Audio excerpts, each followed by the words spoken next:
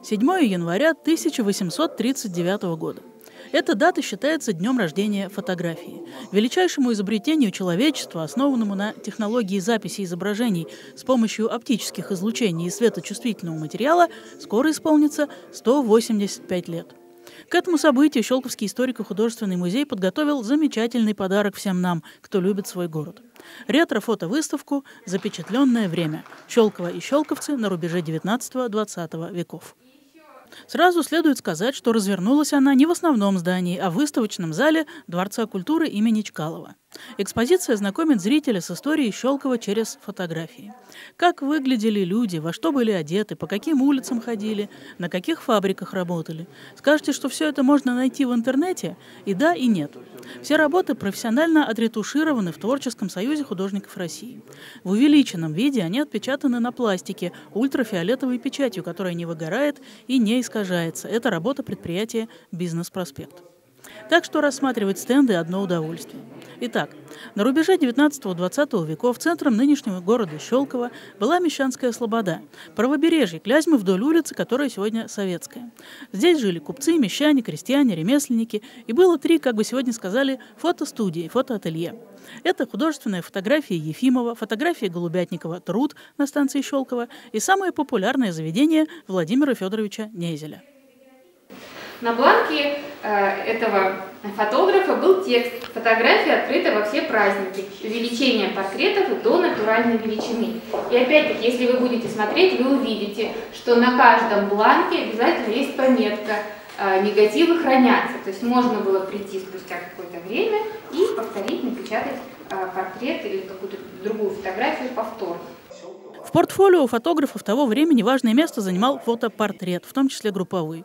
Горожане надевали свою лучшую одежду и семьями приходили фотографироваться.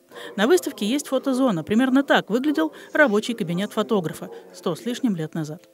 За его пределы мастера тоже выходили. Запечатлевали, например, служащих фабрики товарищества мануфактур Людвиг Рабиник, персонал и владельцев Рейнскового погреба, предположительно в доме Синицына, раненых участников Первой мировой войны, которые находились на лечении в лазарете при фабрике Полякова, и многое-многое-многое другое. Большинство фотографий из фондов историко-художественного музея. Часть предоставлена жителями Щелкова. Мой прадед и моя прабабушка Кувурталов – Федор Семенович и Кувырталова в девичестве Спиричева Мария Михайловна. Федор Семенович – крестьянин Тверской губернии, Калязинского уезда, деревни Телепина.